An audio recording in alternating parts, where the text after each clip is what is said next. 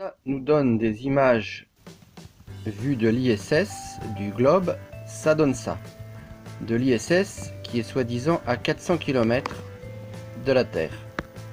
400 km dans la vraie vie, ça donne plutôt ça.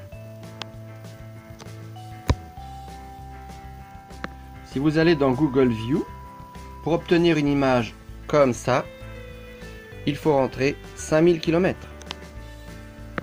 Donc les distances données par la NASA sur les images qu'ils nous fournissent sont fausses.